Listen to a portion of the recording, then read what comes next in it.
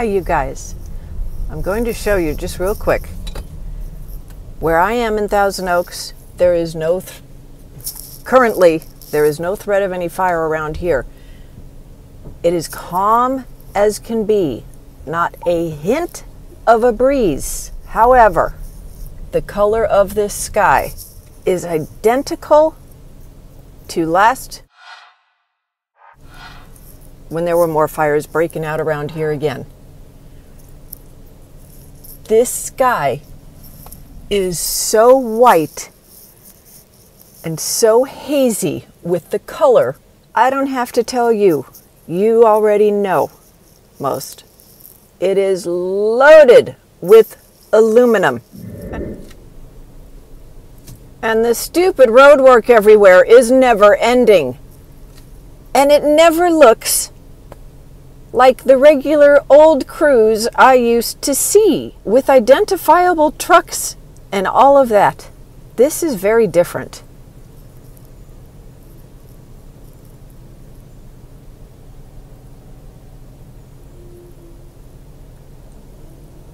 So while California is burning to the ground,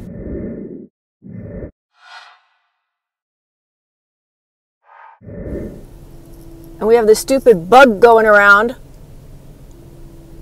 this gets to take place. This essential work.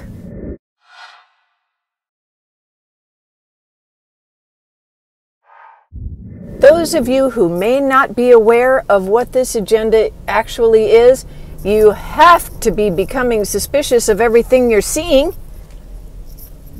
Now that they've done all the repaving in this neighborhood, which it didn't even need in the first place. Any identification on that truck? But this this is it's a process I've never seen before in the manner that they're doing it.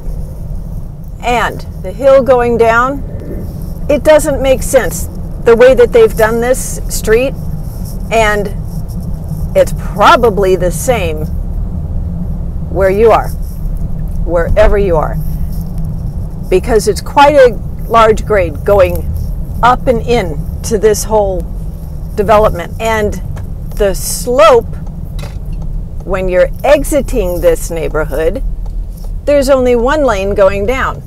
So there's one lane that goes down. Yep, they're going to do the bike lane here, making it making the road smaller. They have one lane going down and two going up before I was awake, I remember thinking, just using common sense years ago, why does it make any sense having one lane going down and two going up? Wouldn't more accidents happen going down than up? You need two lanes going down and exiting a neighborhood, not one. So I was always questioning that. And then once I found out about Agenda 21, then it suddenly started making sense. It all started coming together.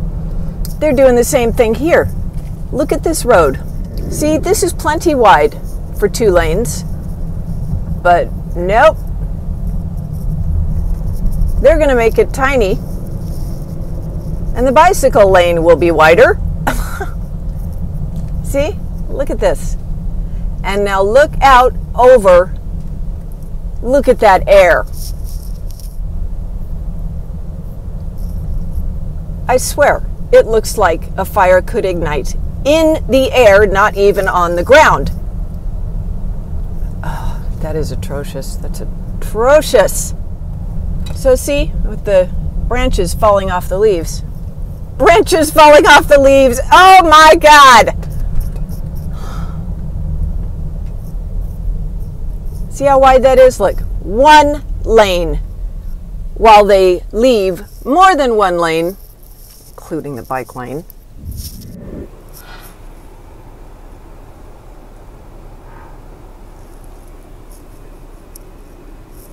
Well, that's one of the few I've seen that actually has the city of Thousand Oaks on it. With that cable up there. Mm-hmm. I'm going to take you right back to the same spot over here above the Lowe's where I showed what it looked like in the last fire. But there was a fire close by with that one. This one, there is no fire near here. Oh, good timing.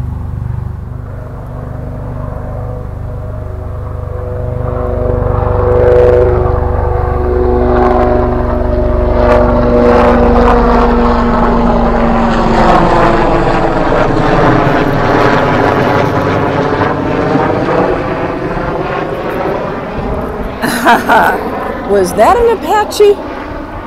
Figures. Perfect timing. But anyway, look at this.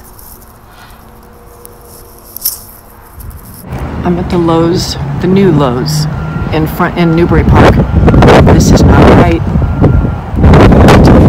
This is not right. This air is not right with these high winds. We have all this. It's not right. Now, where Deborah Tavares is, she's hours up north from this location.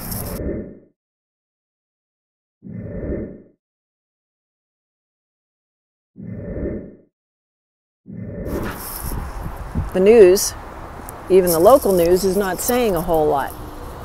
But it looks, that looks like some of it is coming from off the coast because the ocean is that direction. But look at those mountain tops, the hillside, hillsides, hilltops. This is all prepped. Now, last time I went to Malibu, there were two military helicopters that flew by, and the lights were on underneath their cameras, so I have a feeling they were recording the coastline.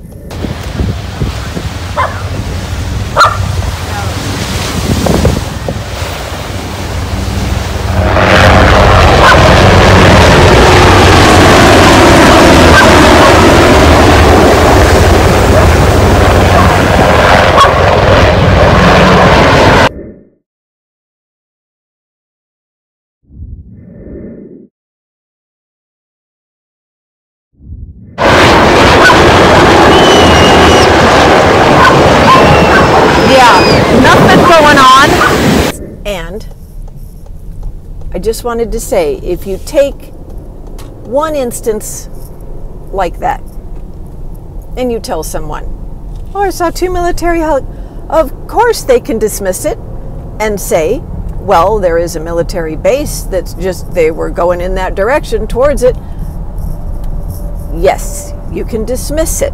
There's a military base there, that is correct. When you tie that together with the hundreds of other videos you see of military helicopters and the tanks and all of the vehicles being tr- trucked trucked around carted around on the trains. All of this suspicious activity going on for a virus that's not even as lethal as the regular flu. It should start to tell people you're being lied to